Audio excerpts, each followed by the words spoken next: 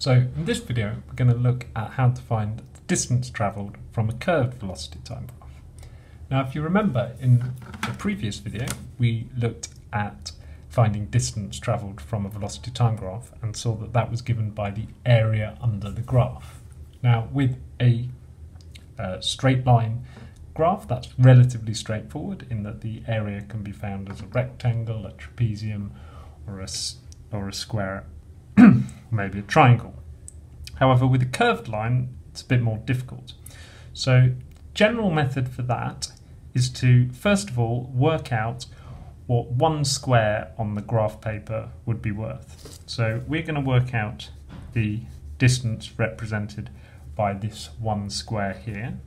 So this one square would represent a distance of 5 times 100. So that would represent a distance of 500 meters. So once we have found the value of one square, our next job is to count the squares under the graph. So if we do that, what's quite helpful is to first of all count up the complete squares. So we'd have one, two, three, four, five, near enough, six, seven, eight, 9, 10, 11, 12, 13, 14. And then I could say roughly this bit and that makes 15. Um, this bit and that makes 16. And this bit and that makes 17. So I've got roughly 17 squares.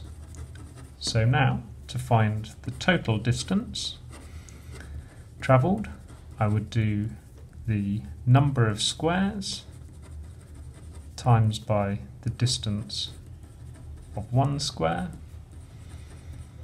which would give me 500 times 17, which would give me 1000 times 17 over 2, which would give me 8,500 meters.